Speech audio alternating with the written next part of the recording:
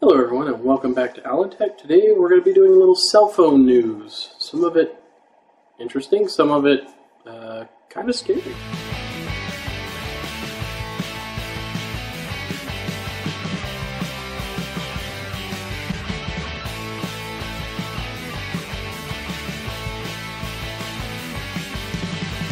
Okay, so the first story I have is from Engadget and it's about a new Samsung phone coming out. Uh, the next is about ZTE getting banned from doing business with American companies, and this one's kind of big for me. So we'll get to that one second.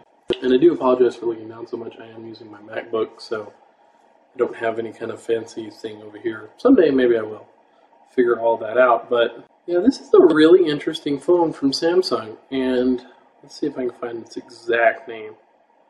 It is called the Galaxy J2 Pro, according to Engadget and it has no 3G, 4G, LTE, or Wi-Fi modems in it. So it, in, in essence, has no internet by the phone itself. Um, it looks like, from what everybody's saying in the comments, that it will probably get its updates and it'll probably get any apps and anything that you'd want to install through a computer connection. It's going to be about $185 in American, um, 100 99,100 Korean won. So I think it's mainly for a Korean market. Some people were saying that they're going to they're mainly focused towards students, and then they'll be turning them in later for a cheaper version of one of the Samsung flagship phones. I don't understand how that would work, and I don't see why. It does sport an AMOLED 4.9 inch screen, on the imaging, there is an 8 megapixel lens on the back, 5 megapixel selfie camera. So it'll be able to do everything except connect to the internet, like is what you would mainly have a smartphone for. Um, one person jokingly said that it's for your kid that doesn't want to look like they have a dorky phone, but they really have a dorky phone. So I really don't know what that one's um, aimed for. I'm, anybody out there have a use for a phone like this? Maybe there's a reason that y'all can think of for a phone like this. I don't really see it. I mean, if you don't want somebody to have internet connectivity, but you want them to have a decentish phone. A 1.4 gigahertz quad core chip, 1.5 gigs of RAM, 26 milliamp battery, which should be enough. A quad HD. Super AMOLED, so that would be 1440, right? I think I'll have to look that up. But yeah, it's just it's not that so in other news, and this one actually kind of hits me pretty big because I actually have a ZTE phone and I don't know how this is going to affect me. According to CNN Tech, US hits major Chinese firm export with export ban. So in essence, um, from what I gathered from this article and a couple of others, is that ZTE will no longer be able to do business with American companies. It didn't really say when this is going to go into effect because I'm sure there's shipments and things going on right now that they can't stop. essentially, any U.S. company ZTE can't do business with, and supposedly this is in retaliation for ZTE doing business with Iran during international sanctions being involved. So I don't actually know much about international politics.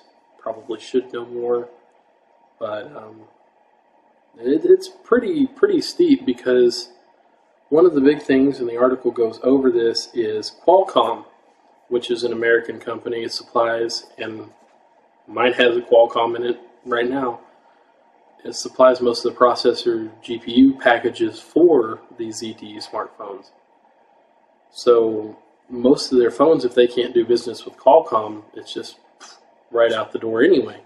They'll have to find somebody else. And um, another question, and that more affects my phone, is Google is part of America, and I mean Google's housed in America, so that means so that means Google won't be able to do business with them directly. So that means they may start having uncertified versions of Android, which means also you can't get the Play Store. And it kind of, I mean, there's a couple of questions here. Y'all may be able to kind of elaborate on this more, how this international stuff works. But they're kind of making it sound like that we might actually lose the Google Play Store just because uh, ZTE got banned from doing business with American markets. And if that happens, all my apps and everything that I have on there will pretty much go to nothing. And uh, getting any updates or anything like that from it will be next to impossible. So I've already started looking for a new phone. Um, the article kind of goes on to say that they're in damage control mode. They don't really know what to do. Um, this, I mean, if they can't find a new way to get processors or the other parts that they need, they could really be facing an out of business situation. Or they'll have to figure out something else that they can make in the meantime. So that's that's a big. It's one of the major cell phone companies, cell phone makers. I mean, they're pretty much in the budget market. So I mean, mine was like $150, and I mean, I wouldn't be able to get it if it wasn't a little cheap phone. That's pretty brutal here. Not only that, the repercussions of businesses not being able to do business with ZTE. I mean, I imagine Qualcomm.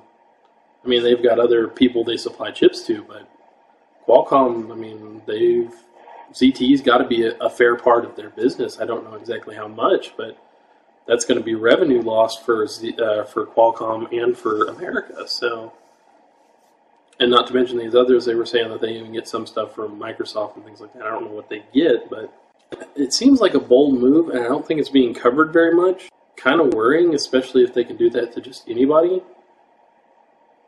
And I really don't know what the laws imply, because as far as I can tell, it's just the, the Commerce Department saying, no, you can't do this. So I don't know if that is affected by laws, or what laws are in place to say that they can do that. That they can just snap their fingers and no longer you can do that. So it's, it's very interesting to see. I'm sure there's a lot of people out there with ZTE phones, and they might have the same questions as me. Um, if anybody knows anything, feel free to talk down below.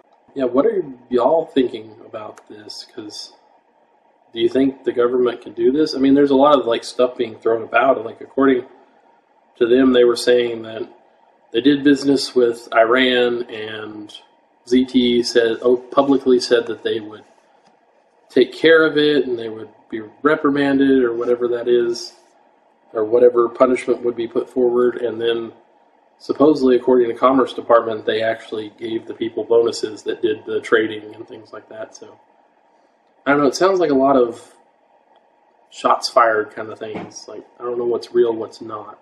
Anyway, I'd like to hear what y'all think. You think it's justified for America to do that, or so, or do y'all think that they shouldn't be really messing with it, or they shouldn't care? Should leave it up to the UN or something like that? I'd really like to know what y'all think. Anyway, I'd like to thank you so much for watching. Thank you so much for being here, listening to me. Um, love to hear anything y'all got to say back. Um, if y'all would love to say anything back about the videos. I know the quality is a little bit bad right now. I've lost my shotgun mic and I don't know where it is. So. If you liked this video, please give it a thumbs up. If you did not, you know what to do. Thank you so much for watching. If you think what I do is worth your time and you would like to stick around, maybe get some notifications that I'm around, you can hit that red subscribe button down there. Thank you so much for the people who've already subscribed. It's awesome. I think I've finally found something that I can do on a more regular basis, even if it may not be as entertaining, but I'm hoping to find more entertaining stuff.